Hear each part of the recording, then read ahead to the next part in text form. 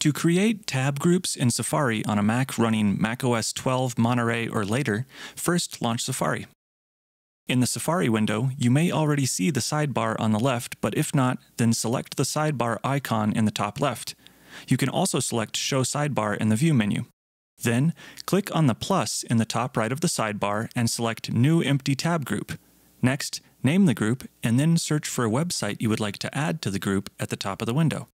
Add more tabs by clicking the plus sign in the top right. Each tab will be saved in the newly created tab group, and you can always add more using the plus button as long as the group is selected in the sidebar.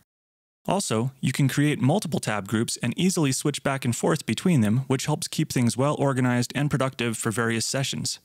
All tab groups will be saved indefinitely even after you quit and reopen Safari, to rename or delete a tab group, simply right click or hold Control and click on the name and select either Rename or Delete from the menu that appears.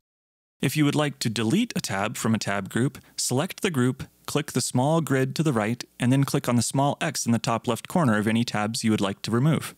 Just a side note, if you're in the middle of a session and already have multiple tabs open that don't belong to a group, you will see the number of tabs open in the place where the start page was located.